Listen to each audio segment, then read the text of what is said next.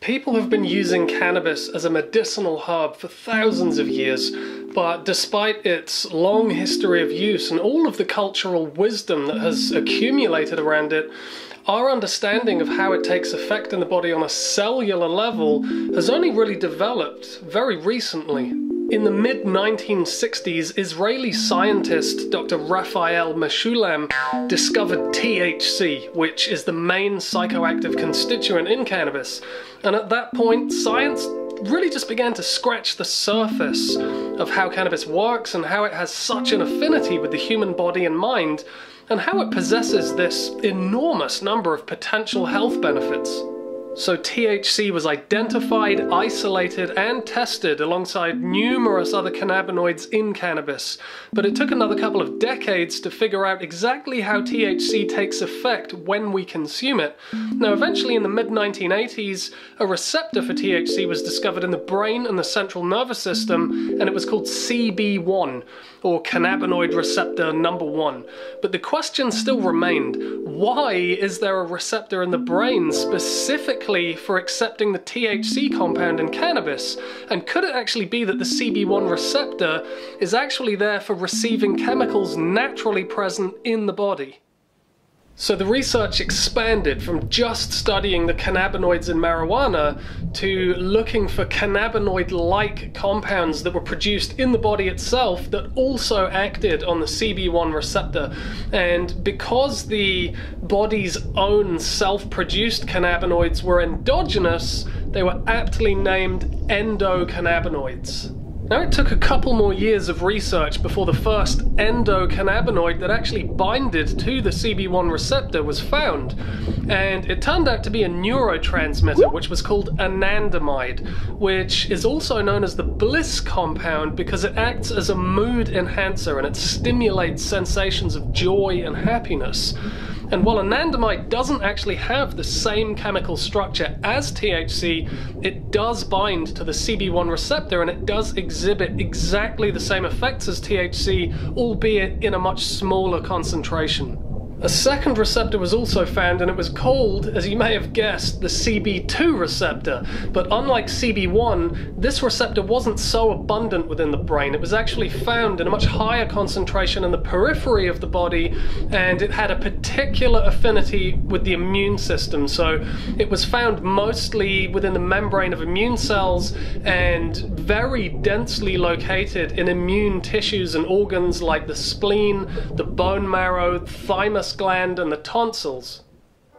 And it's not just THC that acts on these two receptors. There's many different cannabinoids in marijuana that act either directly or indirectly on these two receptors, like CBD and CBN. And also, you know, you've got a lot of different endocannabinoids that act on these receptors, anandamide and 2AG being just two of many. As of yet, CB1 and CB2 are the two definitive receptors that make up the endocannabinoid system of our bodies, although to be honest, there is still a vast amount of research yet to be done on the 100 or so other phytocannabinoids that are in the plant and all of the numerous self-produced chemicals in the body that have the same effect. So it's likely that there's going to be a lot more receptors and a lot more endocannabinoids yet to be found, and our understanding of the endocannabinoid system is going to evolve over time. We do know quite a lot already though. We know that it's one of the biggest contributing factors to homeostasis. Now when we look at the dictionary definition of homeostasis, it says that homeostasis is the tendency towards a relatively stable equilibrium between interdependent elements, especially as maintained by physiological processes. So homeostasis is a systemic force where all of our organs, tissues, and bodily systems all work synergistically to find a dynamic state of balance. It's the body and mind's innate ability to always find the center, the point of balance no matter what situation we're in. It's our ability to respond to all forms of stress in a low impact, sustainable way and protect ourselves from disease as well as heal faster if and when we do become sick or injured. So it's basically like a collective thermostat for every interconnected system of the body and mind. Because obviously, in the modern world, we're facing a tidal wave of chronic stress that over time can begin to break down our ability to adapt and respond to stress in a healthy and harmonious way. So we end up struggling to achieve homeostasis and we end up becoming very exhausted, very drained, and developing a number of possible health challenges because of that. Endocannabinoids like anandamide and 2AG are integral to our mental function, stress management, and our immune health, and our ability to maintain homeostasis. But through stress, toxicity, and shitty diet and lifestyle choices, there's a very real possibility that we can develop an endocannabinoid deficiency, meaning that the function of the endocannabinoid system can become impaired. So this is why supplementing with phytocannabinoids from the cannabis plant or using medical marijuana can be very beneficial because from this perspective, cannabis does act like an adaptogen because it does support homeostasis. And this is largely because we already have the organic infrastructure in place to fully utilize the constituents in cannabis, because the plant produces a spectrum of bioidentical compounds that are produced within our own bodies, which is very interesting. For example, when THC connects to the endocannabinoid system, it's a supreme pain reliever because it modulates neurological function to reduce pain signals being sent to the brain from elsewhere in the body. It can also cause malignant cell apoptosis and it's a chemoprotective agent and it can dramatically reduce all of the vomiting and exhaustion and all of these kind of symptoms that accompany chemo and radiation treatment. And it also stimulates the very withered appetite that very commonly affects people that are undergoing conventional cancer therapy. THC can also offer symptomatic relief to those suffering from asthma and chronic bronchitis. It's shown very powerful effects in reducing and even eradicating seizures in those suffering with epilepsy. It can support our circadian rhythm and really help to reverse sleep disorders like insomnia. And it also acts as a great source of relief for a lot of people suffering with post traumatic stress disorder, and it acts as a general antidepressant when it's used responsibly. CBD, on the other hand, isn't psychoactive at all, but it is a potent antioxidant and it's an excellent anxiolytic, meaning that it has the power to reduce anxiety, agitation, and panic attacks and instill a much more relaxed and stable mental state. So CBD is a bit more of a sedative than THC, so it can be really great for interrupting repetitive, obsessive behavior, and like THC, it does also offer significant anti-cancer benefits.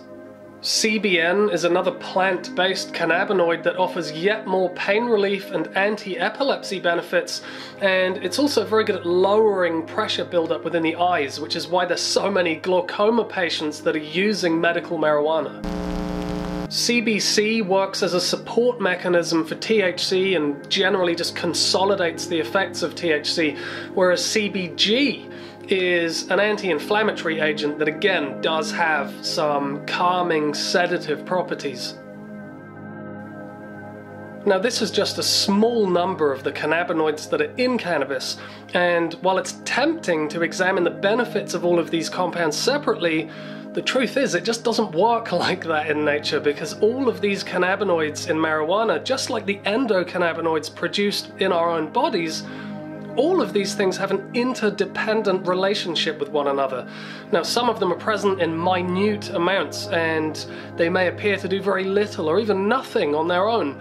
But when we view them in a more collective and holistic context, it becomes a lot clearer that many of these compounds actually enhance the overall medicinal effect and they regulate and moderate one another which I think is largely why the endocannabinoid system is so integral to homeostasis. Plus, cannabis is a rich source of numerous different terpenes that interact with the plant cannabinoids and actually have an indirect yet very significant influence on the endocannabinoid system.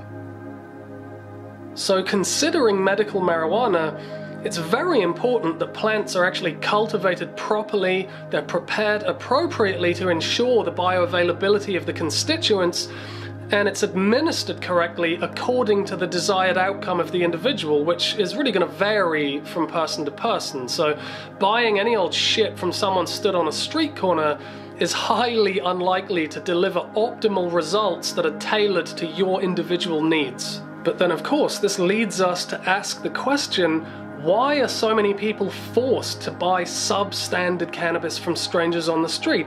Now, the answer is pretty complex and multifaceted, but I think the foundation of that answer is actually very simple and straightforward. Now, cannabis is largely illegal because it perfectly mimics endogenous chemicals that are produced within the body that are vital to health and homeostasis.